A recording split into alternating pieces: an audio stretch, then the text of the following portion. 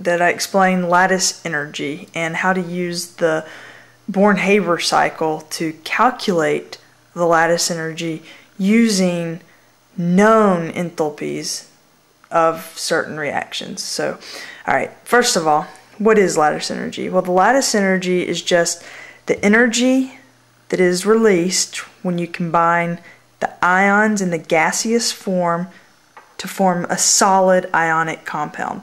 So we know that this solid ionic compound is more stable than these gaseous ions, so we know that energy is going to be released. If we want to break apart this ionic compound, then we're going to have to give it a lot of energy, then the delta H would be positive. So the opposite reaction would just be a positive 787. And that works for all of the delta H. Delta H is just the change in enthalpy, which is the change in thermal energy associated with the reaction. All right, so how does the size of the cations and anions affect the lattice energy? Well, smaller cations and anions are going to be held more strongly, they're going to be more stable, so the lattice energies of lithium, lattice energy of lithium fluoride is going to have a lot larger numeric value than say the lattice energy of like rubidium and iodine coming together 600 negative 630 kilojoules per mole. But as you have a smaller ion what happens is they can hold on tighter. So those two cation is attracted to the anion in a much stronger bond. So to form lithium fluoride from the gaseous lithium ion and fluorine anion, it's going to release a whole lot of energy because, again, that lithium fluoride ionic compound, where it's no longer in the gas form, it's in this compound form, it's going to be much again more stable and it releases energy. Remember, it you take energy to break a bond and release energy to form the bond.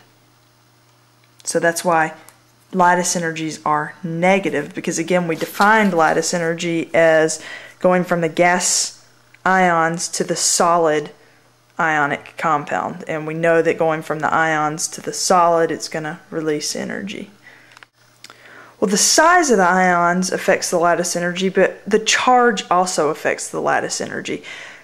If you have more charge, like aluminum 3 plus, you have a stronger positive charge, it's going to hold on to the negative anions a lot tighter, so the lattice energy is going to be a lot larger numerically for ions with a higher charge. So the increased charge increases the strength of the bond. So when you form an ionic compound that has a valence of like plus three or plus two, then the uh, formed compound is going to be much, much more stable and it will be very exothermic to form from those gaseous ions. So the lattice energy is going to be a very large negative number.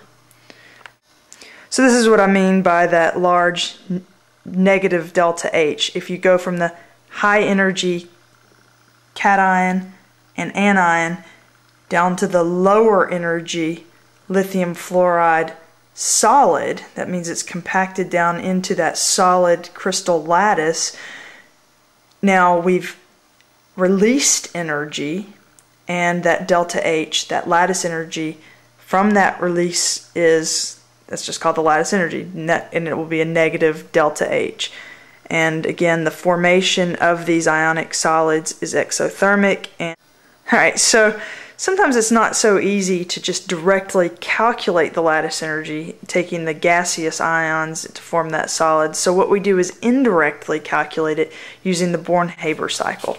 And to use the Born-Haber cycle, you have to understand a few terms. You have to understand the enthalpy of sublimation, what that means. Well, that's going from a solid ionic crystal or just a solid, whatever your substance is, to the gas.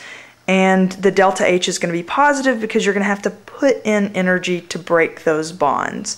So sodium metal, sodium solid, going to sodium gas has a delta H of 107 kilojoules per mole. These can be found in tables. P chemists love this. They do this all day. They figure out the enthalpies of sublimation.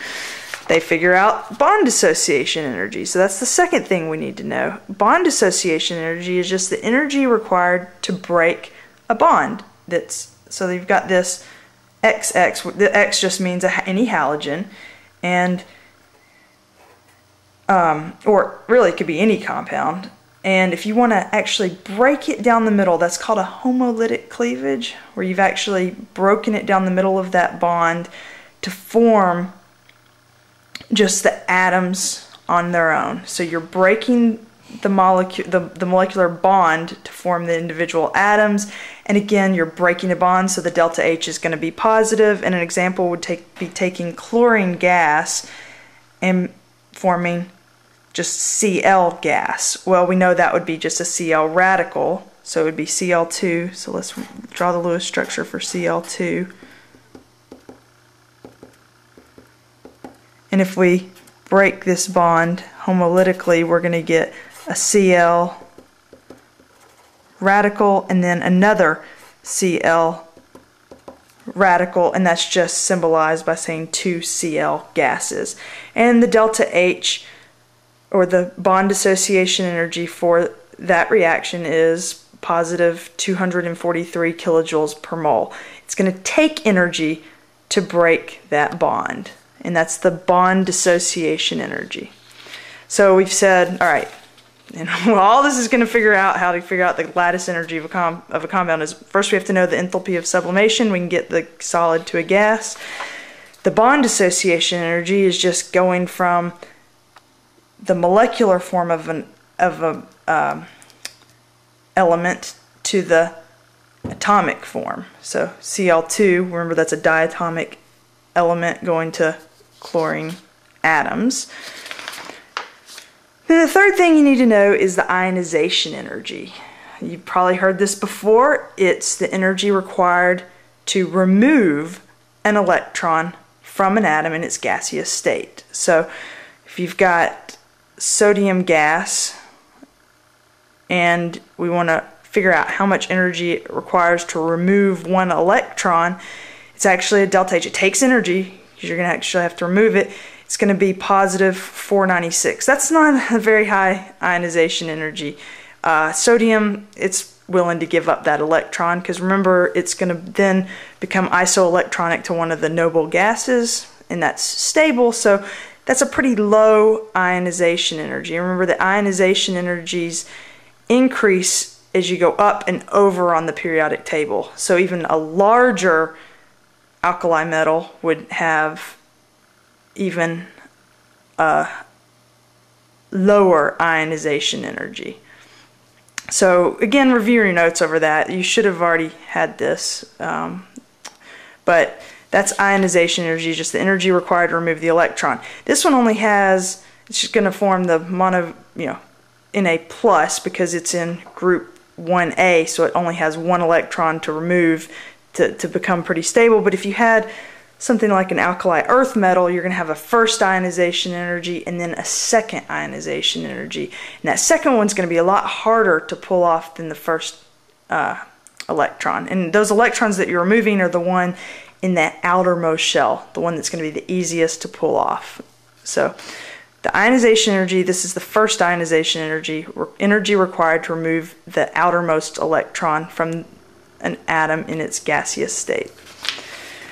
All right, and now the fourth, the fourth type of enthalpy that we need to know or change is the ion, ah, sorry, excuse me, the E I, or the electron affinity. And electron affinity is just the energy change that accompanies a reaction when you add an electron to an atom in its gaseous state. So the electron affinity of chlorine atoms, well, that's actually going to form a more stable substance. Cl minus is much happier than this Cl gas.